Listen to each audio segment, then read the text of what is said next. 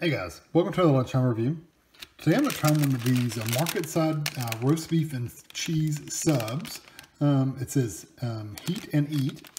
Marketside is a Walmart brand. Oh, so we bought these at Walmart. They were $3.87. Um, they're back where the deli meat is, like we buy the deli meats and stuff like that. Um, it is refrigerated. It's do not uh, keep refrigerated. It is an eight ounce sandwich of 227 grams. 500 calories if you eat the whole sandwich, which is fine. Um, there's the other information for you. So you can do this in a conventional oven from refrigerator. Of course, I'm not going to do that, but you can if you want to. We, we only do microwaves here. So we're going to remove this sub from the sleeve. Done. It was taped, by the way. There's a little piece of tape right there uh, where it was taped. I could cut the tape while while it was before I started filming. Anyway, um, remove sub from sleeve. Leave open. Yeah, leave oven safe bag on the sub. Do not vent, so don't open it or anything like that. Place sub on a microwave safe plate. Um, cook in bag on high setting for one and a half to two. Um, I'll, I'll just do one and a half or until cheese is visibly melted. Remove from microwave, open bag carefully as sub will be hot. Let cool, then enjoy. Yeah, all right, so this is what it looks like. Looks really good. Quite a bit of roast beef. I wonder if you could eat that cold. You could probably eat it cold if you really wanted to, but I'm gonna stick it in the microwave uh, for a minute and a half and I'll be back when it comes out. All right, here it is out of the microwave. And I actually left it in there about a minute and 15 seconds or so. So I took it out like 15, 20 seconds early um, because the cheese was all good and melted. I didn't want the bread to get hard. So, uh, so I took it out. It's pretty, pretty good and soft. Uh, the bread is. The meat's still pretty good and hot. I can feel the steam coming out of it. So I'm gonna, um, I'm gonna cut this in half just so I can eat it a little easier and uh, let it cool off for just a minute. I'll be back. Okay, I gave it probably probably a minute to cool off. Not not a long period of time, but that, I'm gonna take a bite right there.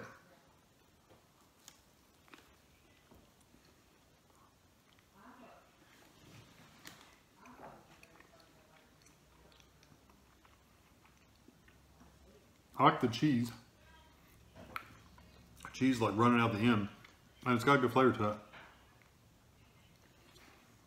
The bread on the bottom is a little wet. Um, not bad, but I just, I kind of flipped it over um, to turn it kind of on its side so it wouldn't get soggy.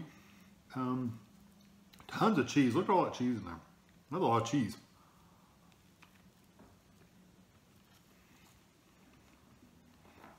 That bite was all bread.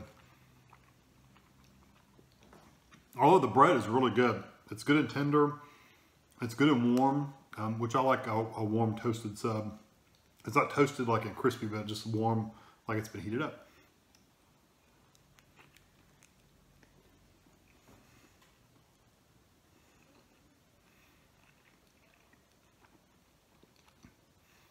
I like the taste of the roast beef. It's good. It's got a good, you know, the roast beef, beefy flavor.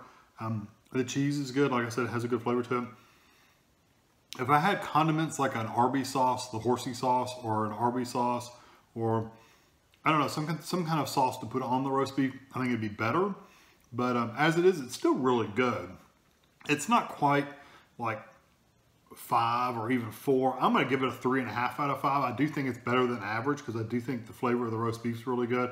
The bread's good and soft. The cheese is good, a good flavor, and it's good and, and melty. It didn't turn into water. It actually melted, uh, which is a good thing. So, uh, yeah, I'm going to stick with three and a half. It doesn't have enough flavor to really bump it up to like a four or a five, but um, but it's good for what it is. And I think the price is pretty fair for what for what you're uh, getting for your money. So the deli and Walmart, you can find these. I hope you enjoy this video. Thanks for watching.